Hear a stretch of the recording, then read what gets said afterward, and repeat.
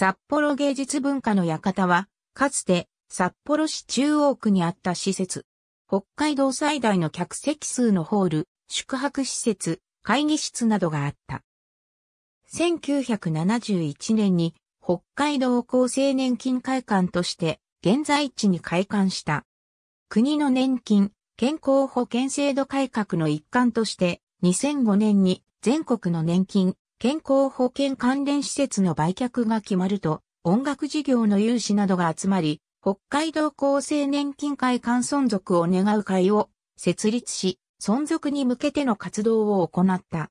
2006年に札幌市、札幌商工会議所、北海道による北海道厚生年金会館存続検討会議を設置した。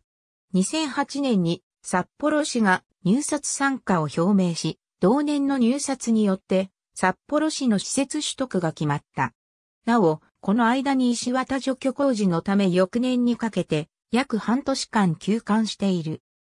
2009年に札幌市の所有施設となったことを機に名称を札幌芸術文化の館と解消し、2010年に札幌市の所管移設としては初となるネーミングライツを導入し、ニトリと協定を締結して愛称がニトリ文化ホールとなった。2018年9月30日をもって閉館。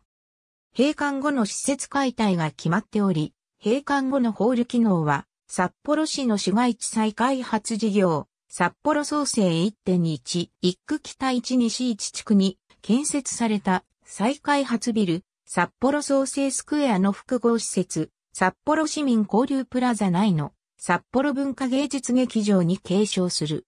跡地については、仮称、札幌博物館建設候補地の一つになっている。